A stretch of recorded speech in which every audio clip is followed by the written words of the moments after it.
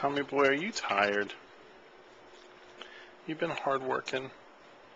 Daddy slinging you around. Yeah. It's alright. You can go to sleep in there.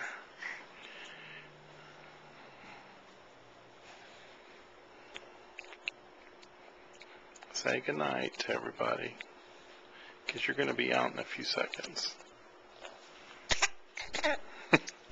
Is that good night in your language? Yeah.